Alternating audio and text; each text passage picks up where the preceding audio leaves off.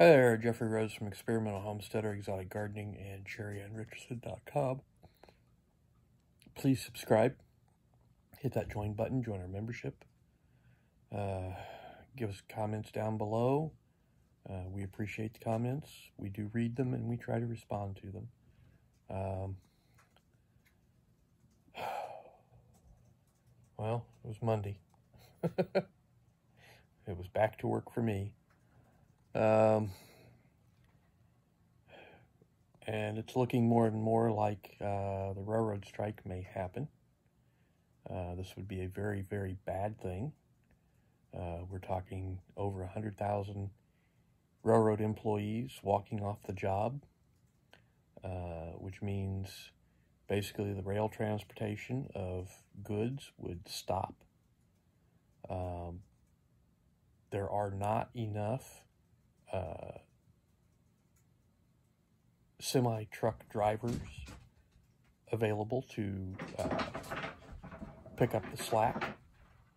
Um, you know, the the uh, the trucking industry is already struggling itself um, to handle the uh, goods that are being transported. Um,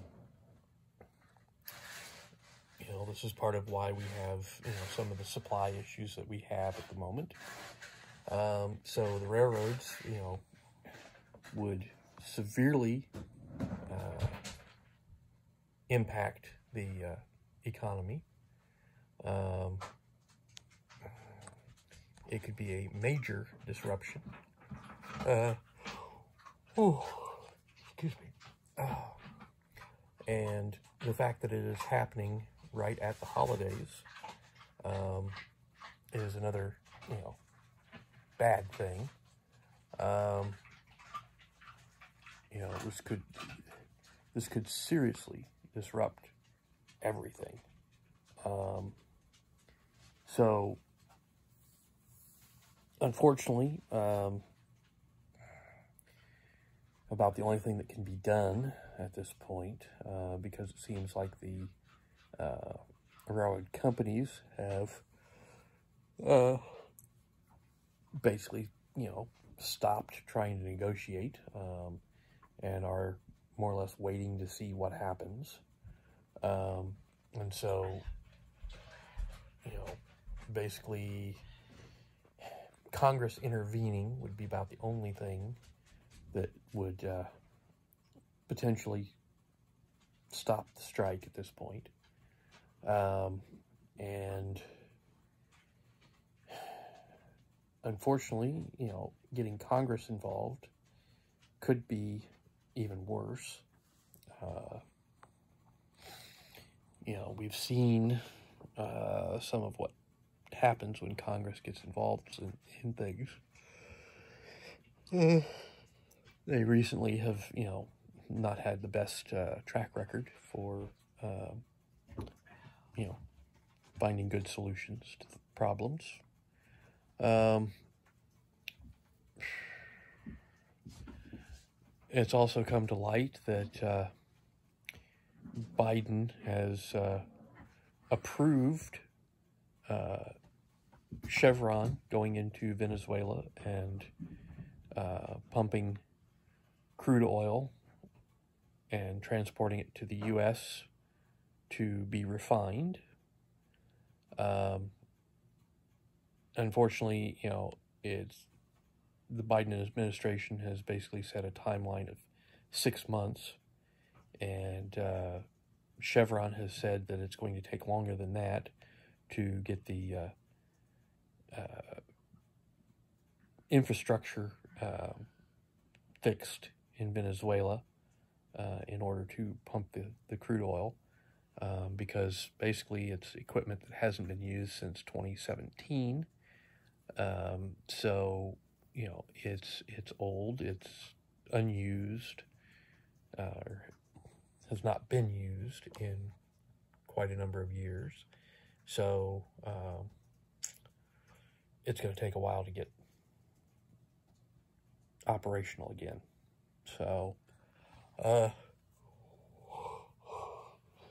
they have also approved a new uh,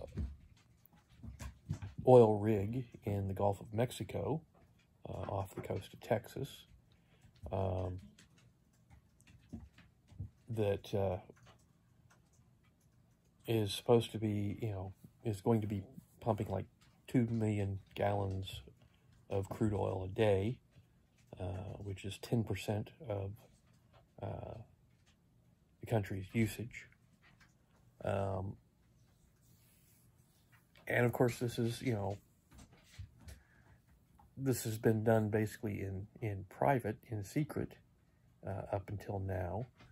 Um, because, you know, Biden had said no more drilling, um, you know, and suddenly, oh, look, he's just approved a new oil rig. Um, but as was pointed out, you know, this is a, a massive oil rig uh, over the ocean. Um, not necessarily the most environmentally uh, safe and friendly situation um, versus, you know, the Keystone Pipeline uh, that Biden shut down that uh, was much more um, environmentally safe uh, for pumping oil um, and would have provided a lot more oil. Um, but hey, you know, not my decision, not my, uh, not my monkey. you know, I, I didn't make those, those choices. Um, so, uh, all I can do is talk about them. Uh, oh, so, uh,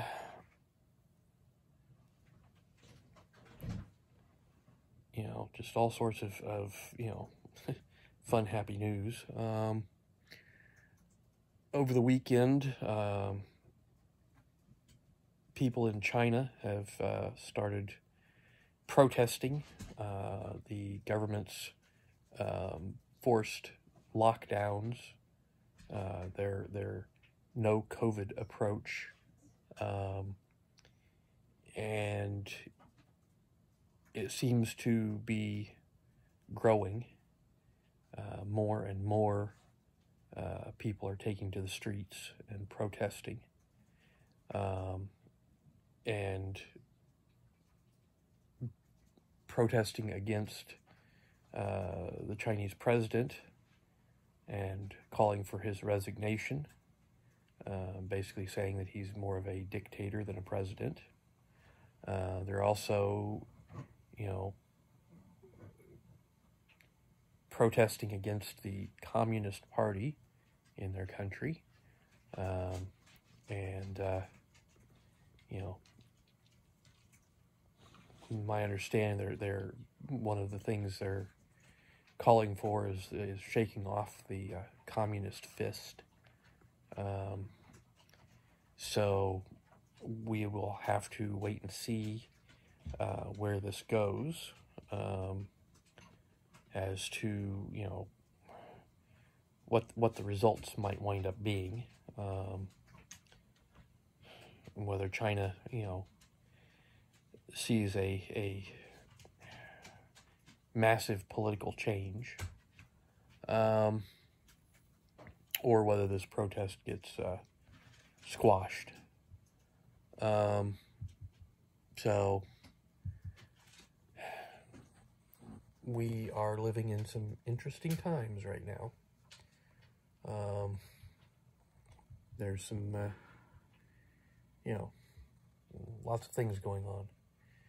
Um, there's also, it, it, looks very much like there is going to be a uh, Republican uh, investigation into Hunter Biden uh, as soon as the new uh, Congress uh, takes it takes over in January, basically. Um, you know, once the new Congress uh, is formed and, and uh, you know, starts working. So we'll have to see what happens with that. But, uh, you know, could get messy. But anyways, I think that's going to do it for tonight. So, once again, please subscribe. Give us thumbs up, thumbs down, comments below. And we will see everybody tomorrow. Stay safe out there.